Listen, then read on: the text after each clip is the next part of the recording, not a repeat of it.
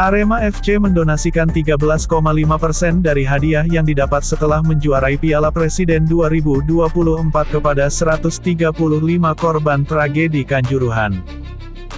Kami ingin mempersembahkan gelar juara ini kepada seluruh keluarga korban tragedi Kanjuruhan.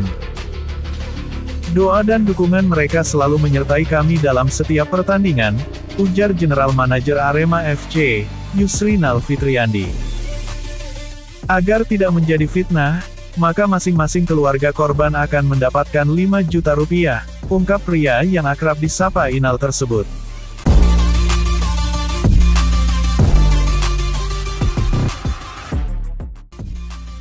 Pemain muda berbakat Indonesia, Justin Hubner, tengah berada di ambang pintu sejarah. Peluang untuk bergabung dengan salah satu klub paling bergengsi di Swedia, IFK Norrköping, terbuka lebar. Klub berjuluk Peki ini memiliki rekam jejak yang luar biasa dan menawarkan pengalaman bermain yang tak ternilai bagi Justin. IFK Norrköping bukanlah klub sembarangan. Didirikan pada tahun 1897, klub ini telah menjadi bagian integral dari sepak bola Swedia selama lebih dari seabad. Dengan 13 gelar juara Liga Swedia di lemari trofi, IFK Norrköping hanya kalah dari Malmo FF dan IFK Göteborg dalam hal jumlah gelar juara. Bagi Justin Hubner, bergabung dengan IFK Norrköping adalah sebuah lompatan besar dalam karirnya. Klub ini memiliki reputasi yang sangat baik dalam mengembangkan pemain muda. Dengan bermain di lingkungan yang kompetitif seperti Liga Swedia, Justin akan memiliki kesempatan untuk mengasah kemampuannya dan berkembang menjadi pemain yang lebih matang.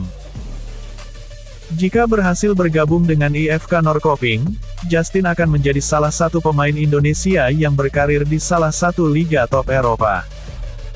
Ini akan menjadi inspirasi bagi para pemain muda Indonesia lainnya untuk terus berjuang meraih mimpi mereka.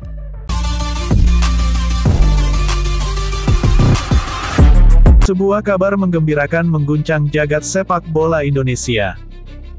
Ketua Umum PSSI, Erick Thohir, baru-baru ini mengungkapkan potensi pertandingan persahabatan antara Timnas Indonesia dan Timnas Belanda. Rencana ini muncul setelah pertemuannya dengan Duta Besar Kerajaan Belanda untuk Indonesia. Kami juga menginfokan rencana kolaborasi antara PSSI dengan Asosiasi Sepak Bola Kerajaan Belanda KNVB, ungkap Erick Thohir. Timnas Indonesia dan Timnas Belanda akan membuat program pertandingan persahabatan di semua usia, baik pria maupun wanita.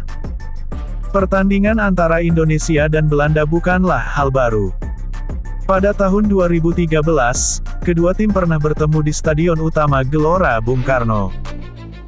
Meski kalah 0-3, pertandingan tersebut menjadi momen bersejarah bagi sepak bola Indonesia.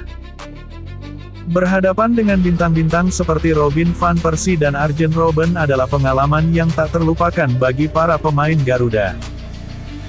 Kini, dengan generasi pemain baru yang lebih berkualitas, timnas Indonesia berpeluang untuk memberikan perlawanan yang lebih sengit.